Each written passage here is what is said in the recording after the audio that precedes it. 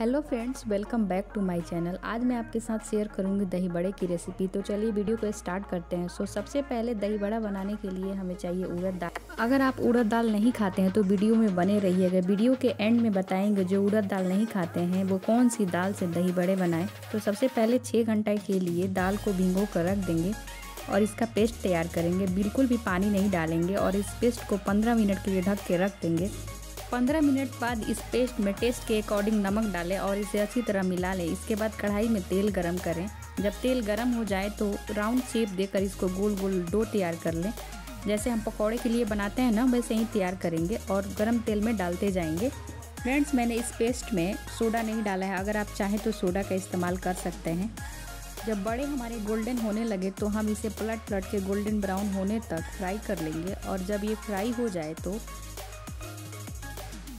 इसे निकाल लेंगे। फ्रेंड्स, यहाँ मैंने एक बाउल में डेढ़ ग्लास के करीब पानी डाला है। आधी छोटी चम्मच नमक डालकर पानी को गुनगुना गर्म करके रख लिया है।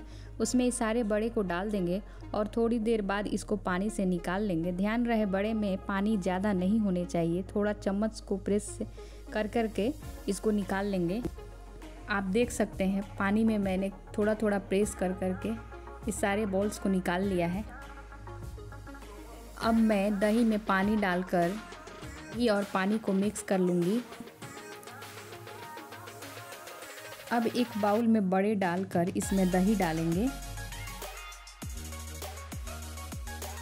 अब दही के ऊपर हरी धनिया की चटनी डालूँगी। रोस्ट की हुई जीरा पाउडर डालूँगी। रोस्ट की हुई लाल मिर्च पाउडर डालूँगी। खट्टी मीठी इमली की चटनी डालूँगी। इसकी बहुत जल्द रेसिपी डालूँगी इमली की चटनी की। टेस्ट के अकॉर्डिंग काला नमक डालें।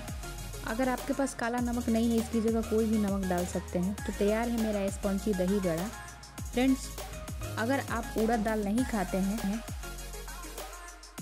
तो इसकी जगह आप मूंग दाल का इस्तेमाल कर सकते हैं। बहुत ही टेस्टी बनता है मूंग दाल का दही बड़ा बहुत सारे लोग होते हैं जो उड़द दाल नहीं खाना पसंद करते हैं। तो फ्रेंड्स, आप घर पे दही बड़ा बना और खाएँ।